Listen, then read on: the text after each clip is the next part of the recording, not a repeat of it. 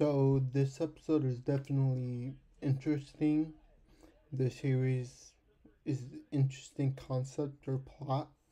So let me kind of explain the plot for you. Basically, as a baby, he was I don't know how, how this happens, but he was basically switched. So one family got him, the other got the wrong, got their child until you know they notice 16 later 16 years later that they're different. So you know they plan on kind of um giving their children back or you know, at least knowing their real parents. So we get kind of introduced to our main character and he was the one that was switched and today's the day, you know, he'll meet his real parents. And on his way, he meets this girl, which is, you know, all about pretty much all about Instagram followers. And she says that, you know, her parents kind of arranged the marriage for her. And she doesn't want that. And so, in order to kind of get out of the marriage, um, she plans on having our MC play the part of her boyfriend. And at first she doesn't want to, but of course she blackmails him with the photo. And, you know, he eventually agrees. So he agrees and um, a lot of, I guess, things, they do a lot of things together throughout the day until, you know, time for her to go. So this black car kind of picks her up and she says, you know, I wish my fiance would have been you instead of the other guy I don't know.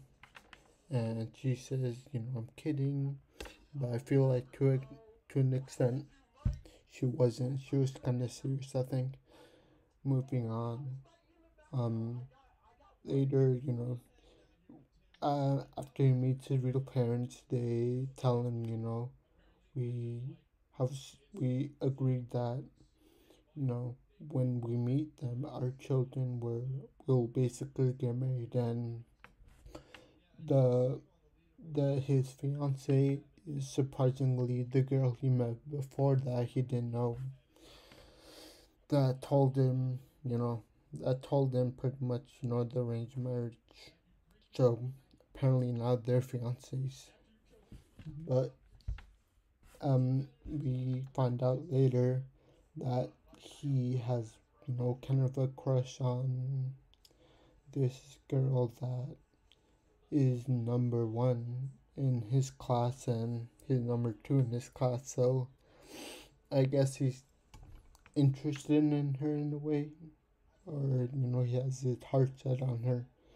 And then we also get the, I guess the the sister of his that didn't know, you know um, this blonde girl, I guess, um, also shows signs that she is interested in him. So it'll be it'll be funny to watch how this all unfolds, the whole fiance plot point, and you know who he'll eventually end up with. Um, this series reminds me of a lot of uh, another series called uh, quintessential quintuplets. Basically, it's the same plot point, but he has to choose out of five sisters. Here, he only chooses out of three, I guess, people.